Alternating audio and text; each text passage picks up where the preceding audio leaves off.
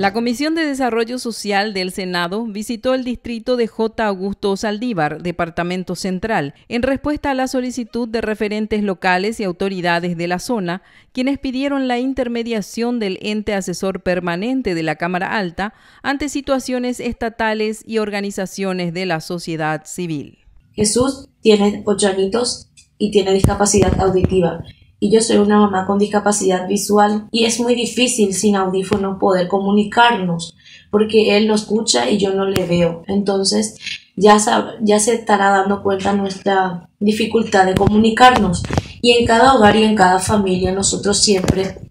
estamos